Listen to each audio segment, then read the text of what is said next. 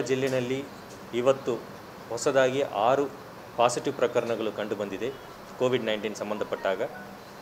ನಾವು ಇಮಿಡಿಯೇಟಾಗಿ ಆ ಪಾಸಿಟಿವ್ ಬಂದ ಎಲ್ಲ ಪೇಷಂಟ್ಸ್ಗಳನ್ನು ಕೂಡ ತಕ್ಷಣ ಮೆಗ್ಗನ್ ಹಾಸ್ಪಿಟಲ್ಗೆ ಶಿಫ್ಟ್ ಮಾಡಿದ್ದೀವಿ.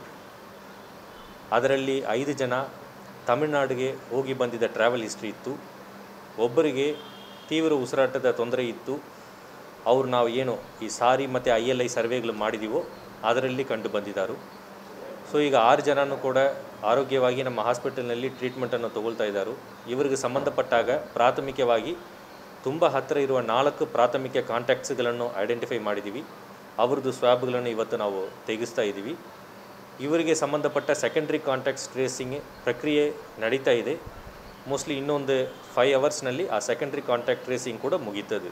ಈಗ ಆರು ಜನರಲ್ಲಿ ಏನು ಪಾಸಿಟಿವ್ ಪ್ರಕರಣ ಕಂಡು ಬಂದಿದೆಯೋ, ಅದರಲ್ಲಿ ಐದು ಜನ ಒಂದೇ ಕುಟುಂಬದವರು, ಎರಡು ಅಜ್ಜ, ಅಜ್ಜಿ, ಮತ್ತು ಎರಡು ಸಣ್ಣ ಮಕ್ಕಳು, ಮತ್ತು ಒಂದು ಅವ್ರದ್ದು ಮನೆಯವರು, ಸಂಬಂಧಪಟ್ಟವರು, ತಾಯಿ. ಈ ಥರ ಒಂದೇ ಫ್ಯಾಮಿಲಿ ಸೇರಿದ ಐದು ಮಂದಿ ತಮಿಳ್ನಾಡಿಗೆ ಏನು ಹೋಗಿ ಬಂದಿದ್ದಾರೋ ಅವರಿಗೆ ಕಂಡು ಬಂದಿದೆ. ದೆನ್ ಇನ್ನೊಂದು cases separate case it's a different case from ಬೇರೊಂದು ತಾಲೂಕಿನಿಂದ ಬಂದಿದೆ. ಇದಕ್ಕೆ ಸಂಬಂಧಪಟ್ಟಾಗ, ಈ ಒಂದು ಆರು ಪ್ರಕರಣಗಳಿಗೆ ಸಂಬಂಧಪಟ್ಟಾಗ ಎರಡು ಕಂಟೈನ್ಮೆಂಟ್ ಝೋನನ್ನು ನಾವು ಮಾಡ್ತಾ ಇದ್ದೀವಿ ನಮ್ಮ ಜಿಲ್ಲೆಯಲ್ಲಿ. ಈಗ ಆಲ್ರೆಡಿ ಕಂಟೈನ್ಮೆಂಟ್ ಝೋನ್ ಐಡೆಂಟಿಫೈ ಮಾಡಲಾಗಿದೆ ಕಂಟೈನ್ಮೆಂಟ್ ಆ್ಯಕ್ಟಿವಿಟೀಸ್ ಶುರು ಮಾಡಲಾಗಿದೆ.